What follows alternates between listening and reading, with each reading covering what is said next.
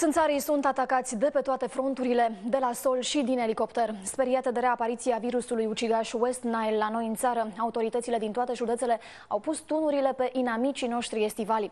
În București, edilii combat invazia cu elicopterul. Supărătoarele insecte sunt nimicite de sus cu armă letală, un insecticid puternic ce nu le dă nicio șansă.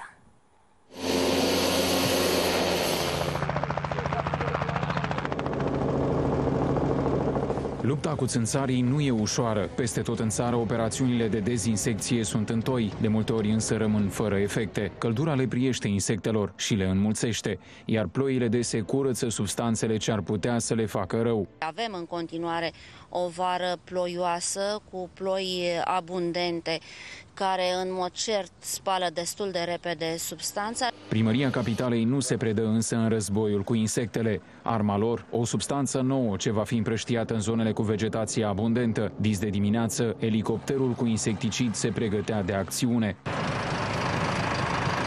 iar la primele raze ale soarelui, aparatul de zbor s-a ridicat de la sol. Dacă mergeam numai pe tratamente de la sol, exista riscul să rămână o anumită populație remanentă care să se dezvolte destul de repede. În țară, autoritățile locale recunosc că au nevoie de întăriri. Este necesar uh, ca și asociațiile de proprietari să procedeze la, uh, la efectuarea acțiunea de dezinsecție. Degeaba uh, primăria dă în spațiile verzi din exterior dacă în uh, subsolurile blocurilor sunt, uh, sunt uh, crescătorii de țânțari. Însă oamenii nu se tem de țânțari. Nu voi să dea, mă? Nu. La mine nu trag țânțari deloc. Chiar și așa, nu ar trebui să renunțăm la plasele de țânțar și nici la sprayurile sau cremele de protecție.